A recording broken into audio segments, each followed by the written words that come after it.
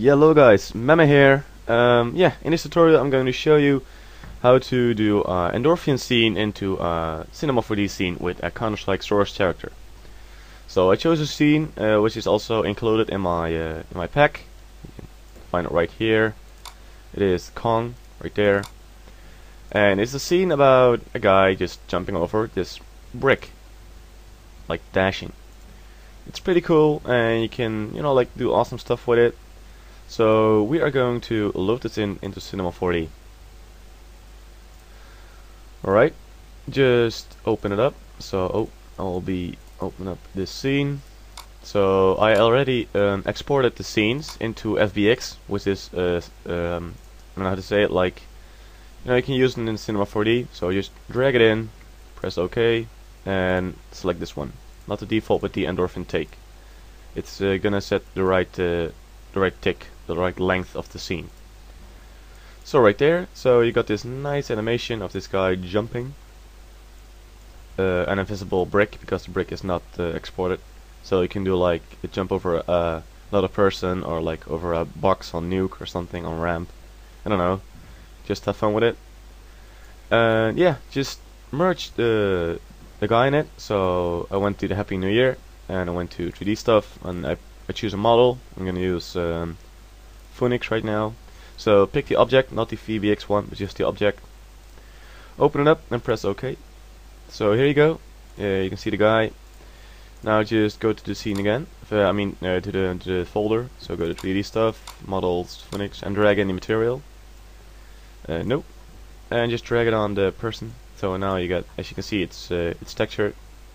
You see the nice skin on it. Nice, yeah, nice skin. So what we're, going to do is like align this body up with this skeleton.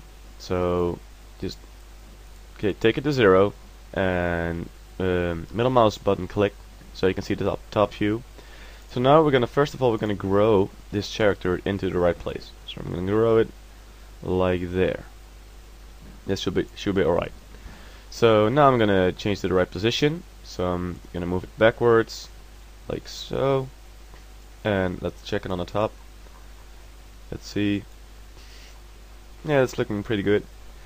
So, as you can see right now, everything is looking good except the arms. So what we're going to do is we're going to change the first frame of this animation. So we're going to click on the on, on the skeleton, open it up, and just going to look for the arms. It's yeah, it's right here. So you got the um, the clavicle and the yeah the left and the right arm. So I'm just going to the front view now I'm just going to lower the clavicule, I don't know how it's called, but I'm going to lower it just a bit. And I'm going to press this little key button, is going to change the frame, uh, like the, the, the keys. I don't know, keyframe, yeah. There are a lot of keyframes right here. I'm going to change the first one, so I'm just going to change it like there. Uh, it doesn't need to be it doesn't need to be perfect because yeah, it's going to be running and you don't even see the difference. So it's alright. Now I'm going to do the same with the other one. Just lower it a bit. Click on it and right there. I hope you forgive me for my bad for my bad English. I'm not the best English speaker in the world. I kinda suck at the moment but I'm gonna improve it. At least I hope so. So right now it is in the right position so now we're gonna bind the uh, the body to the skeleton so we're gonna do right mouse button on the root and click unfold all. Then we're gonna drag it inside this, yeah, inside the body and select it all. So I'm just going to select this all. Then we're going to character and then bind. If the if the button is isn't right there because I'm using an older version, it should be on the top in a drop-down menu. I have no idea, but yeah, just just look for it. It's called bind with this little icon. So bind, and as you can see right now, this is done. He will start moving, and there you go. You have a nice scene of a guy sprinting over an invisible object.